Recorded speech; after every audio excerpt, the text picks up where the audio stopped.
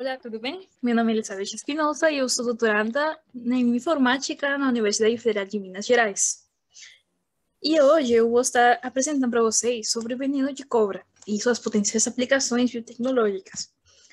Bem, então, o veneno de cobra normalmente é um líquido amarelo e ele vai ser um coquetel que tem enzimas, proteínas, entre outras moléculas que vão ter eh, certos efeitos que vão ser, por exemplo, destruir células, o que é conhecido como citotoxicidade. Também elas podem interromper os impulsos nervosos, o que é conhecido como neurotoxicidade, entre outros tipos de citotoxicidades. Bem, então, os gêneros na América do Sul que têm essas propriedades, o veneno delas, é o gênero Crotalus, o gênero Micrurus e o gênero Hydrophis. O Crotalus aqui a gente vai encontrar as famosas cascavéis, o Micrurus as corais e Hydrophis são cobras de água.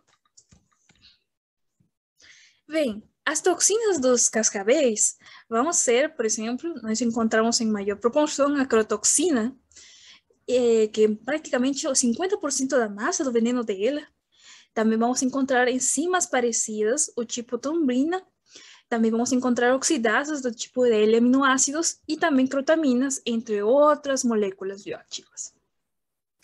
Já no gênero Micrurus Hydrophis, ou seja, nas corais e nas cobras de água, nós encontramos as neurotoxinas Three Finger, porque parece que tem aqui três dedos pela estrutura delas, e também as fosfolipasas tipo 1.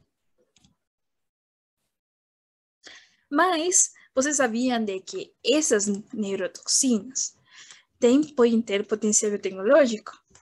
Pois é, há mais de 3 mil anos antes de Cristo, já no Egito e na Grécia eram conhecidas algumas propriedades terapêuticas do veneno de cobra. Atualmente, nós já conhecemos certas propriedades e, e hemos, temos caracterizado estas toxinas né, presentes, estas moléculas ativas presentes neste veneno, e nós acreditamos que pode ter um é, potencial terapêutico e biotecnológico. Então, por exemplo, aqui trouxe dois exemplos. Um deles é esta droga que está em desenvolvimento, que é conhecida como BRCTC 310 onco, que tem como principal é, molécula bioativa a crotoxina de crotáleos duríceos terríficos, ou seja, cascavel, as cascavéis. E esta esta, esta droga pode destruir células malignas, portanto, pode ajudar no caso de tumores, né?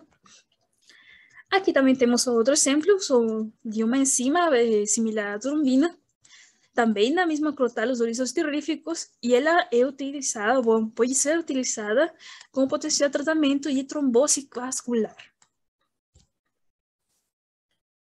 Mas todos estes dados dentro do laboratório, que são conhecidos como dados in vitro, têm que ser tratados com muita precaução, porque é, temos que fazer série de testes para saber se realmente pode ter esse potencial terapêutico. Assim que é isso. Bem, muito obrigada pela atenção, especialmente a Rede Pesquisa em Toxinologia Básica aplicada pela oportunidade. Obrigada.